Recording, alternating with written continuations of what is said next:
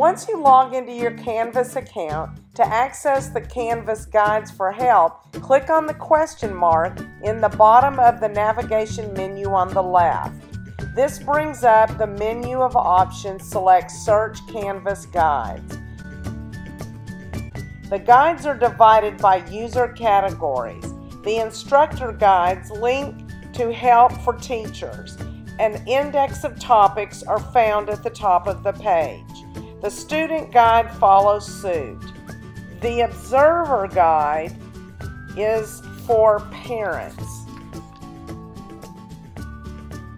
Like videos better?